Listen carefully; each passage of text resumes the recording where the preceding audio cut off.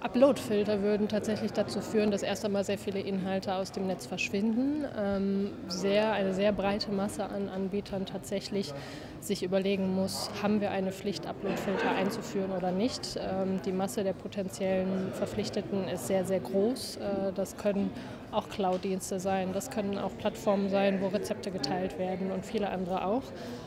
Ähm, und die müssten sich dann eben damit auseinandersetzen, wie sie so einen Upload-Filter installieren.